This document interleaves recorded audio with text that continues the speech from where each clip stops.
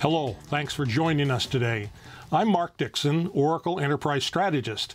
With me today is Ignacio Loureiro, Oracle Vice President of IaaS Named Enterprise. He will share his insight with us today. Welcome, Ignacio. Hi, Mark. How are you? I'm doing well. Today's discussion will be on disaster recovery and data protection in the cloud. We'll focus specifically on how Oracle Cloud Infrastructure is a fundamentally different approach, an enterprise approach of protecting data in the cloud. Ignacio, why is OCI, or Oracle Cloud Infrastructure, the ideal platform for backup and, and disaster recovery? Mark, Oracle spent 40 years, the last four decades, building enterprise software. Um, all of our R&D spend, and we're typically at the top of R&D spend for companies nationwide, and when you re-swizzle the list um, by revenue, we're all the way at the top, six, seven, or eighth, uh, depending on the year. All of that money that we spend goes into enterprise workloads. We don't build rockets, we don't build consumer products, that's all we do. That's been our focus for 40 years, and it continues to be our focus. So when we were looking at taking those uh, applications, those SaaS applications, those PaaS applications, our database that we have over 420,000 customers running, and moving that to the cloud, we realized something very quickly that those infrastructures, those applications, that software is focused and running people's business. It's running enterprises. An enterprise level public cloud simply did not exist. So partnering somewhere just didn't make any sense. We had to build it. Our customers required it. There wasn't another choice. So we went out and we started from the ground up, and we had a distinct advantage from other public clouds. We started late in the game, uh, and that gave us a, a, a couple of advantages. One is we got to see what was happening in the public space, how things were scaling, what was working and what was not. So we took some of the things that worked and, and incorporated it into our space, but then we took the very unique requirements that our customers have for enterprises and developed that into the public space, into public cloud. So it's betting your business your enterprise on a public cloud that can actually support enterprise. That's correct, and focused on enterprise. And this is, this is very important. So I'll give you a couple of examples of what we do. So for example, in our public cloud, um, we encrypt everything. We encrypt everything at rest, we encrypt everything at transit, everything, 100%. But more importantly, not only do we encrypt it, we take those encryption keys and we turn them back over to our enterprise customers so they manage it. So an enterprise can be confident that their data is secure and they are in control. That is correct. So those keys they own, they put them into their control, their governance, their processes, their run books, and they do with it exactly what they did in their enterprise, but only in the public cloud. So why does this make OCI the ideal platform for data protection and disaster recovery? So the encryption and the keys are one uh, good example. The other is that in an, uh, in an enterprise environment, um, speed is important, and speed in public cloud is important, but more importantly for an enterprise is predictability. So you have to be fast, but you have to be predictably fast. And that's a very, very, very, very big differentiator for enterprise. So for example, our network layer is a flat, non-blocking, fault-tolerant, off-box virtualized, fully API'd, uh, software-defined network. That sounds great, and there's a lot of technical terms in there. What that really means is that it's fast, at 6 o'clock on Tuesday and 1 o'clock on Sunday and every minute in between. So if you take a look at, um, uh, at our latency rates across our entire network, not only are they very, very fast and very, very uh, comparable, if not better, to most public enterprises, they're probably equal to what you're used to in an enterprise space in non-public cloud. Mm -hmm. But the most important part about it is, if you look at the, the uh, latency graph chart for our public cloud network, is there's hardly any uh, peaks and valleys. I mean, it is flat. The patient is dead, um, and it is it is that way all the time. We do the most important thing in that environment is we do not oversubscribe.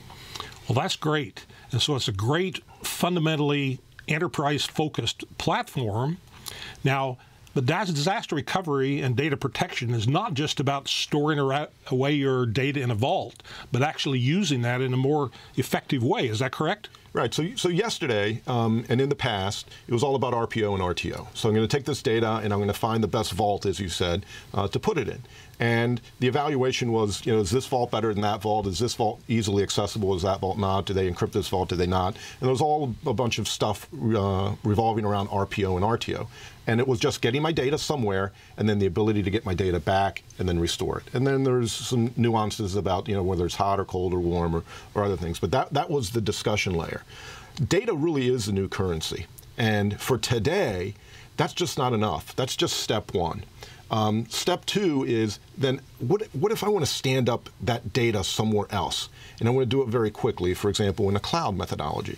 Um, if you take that data and you store it in a public cloud, one that's secure, one that you have encryption keys for, um, and now you want to recover it rather than bringing the data back, you want to stand up a compute instance in the cloud, you can do that in OCI. And it's very easy. And most importantly, you consume that in the Elastic Cloud way. So when you um, stand up that instance, you pay for it. When you don't, you don't.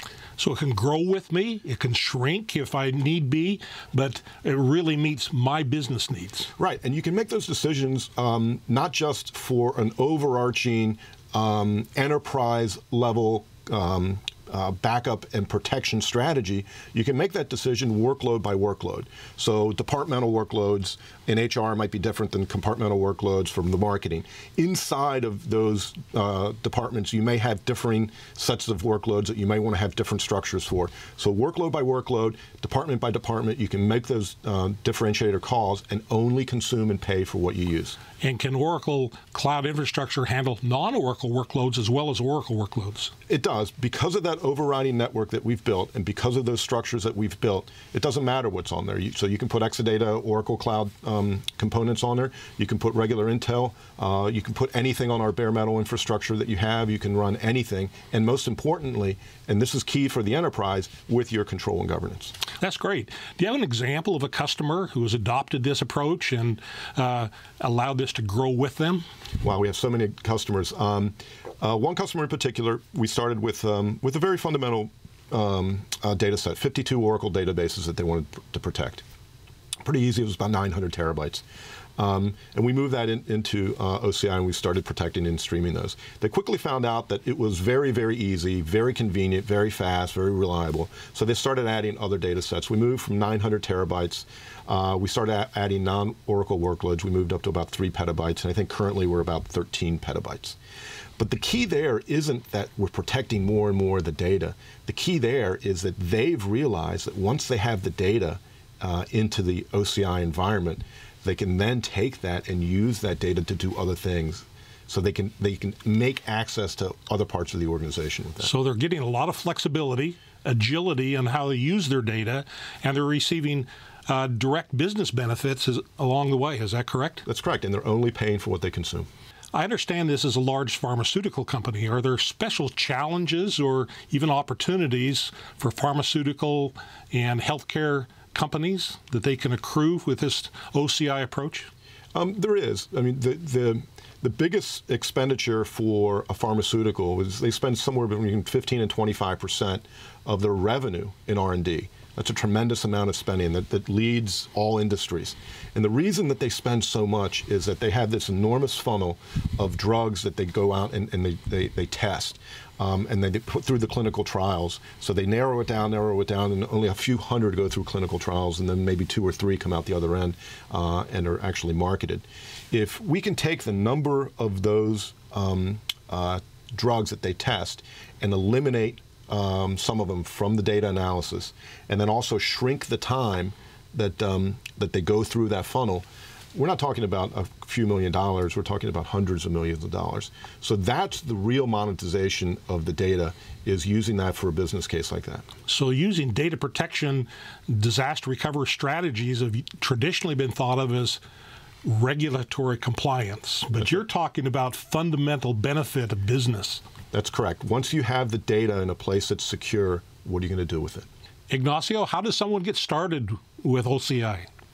Well, typically with Oracle, the answer was call your Oracle rep. but with OCI, we're very transparent. Incredibly so, in fact. Um, all of our pricing, all of our uh, information is all online. You can go to cloud.oracle.com. You can go in, you can put in your requirements, how many databases you want to protect, how many you know, um, workloads, uh, what the data sets are, um, what compute instances you want to stand up, any of that. You can put all that in. Um, you put in how many years you want to sign up for, months, whatever it is or if you just want to go pay as you go, it'll do the calculation. It'll build it out. It'll give you a bill of materials. Um, you can download it into Excel, into uh, into a PDF. We don't ask anything for uh, for that. We don't ask you to put in your email address. We don't ask you to uh, verify anything. Anyone can do that. You can do that. I can do that. Our, our, competitors can do that. So we try to be very, very transparent. We're not your grandparents' Oracle. Um, anyone can do that. In addition, we also have. Um, it's important for an enterprise it's important for an enterprise to know the status of the environment in which they're relying on. So we publish a website called ocistatus.com, and it's very simple. It gives you real time, to the second, updates on what is going on in an entire worldwide environment. So all of North America or Europe or Asia Pac, uh, all of the environments are on there. You can go to the upper right hand corner, you can put in a telephone number or your email address. Um, and you'll get alerts, real-time alerts, when something is, is, is happening, whether it's a minor issue, a critical issue, when the root cause. Um, and again, anyone can do that. I subscribe to those alerts. It's nice to see the worldwide perspective. It, it is it is great, and, and we, we we understand that transparency is what's required in public cloud. And the more information we can put in the hands of not just our customers, but our prospective customers, the better off we all are. Well, thank you, Ignacio. We appreciate your insight and teaching us about Oracle Cloud Infrastructure. It was a pleasure talking to you. Well, thank you. Thank you. And thank you all for joining us today. We appreciate your interest. We hope that whenever you think about data protection, disaster recovery, and really using your data, you will think of enterprise Oracle Cloud Infrastructure. Thank you.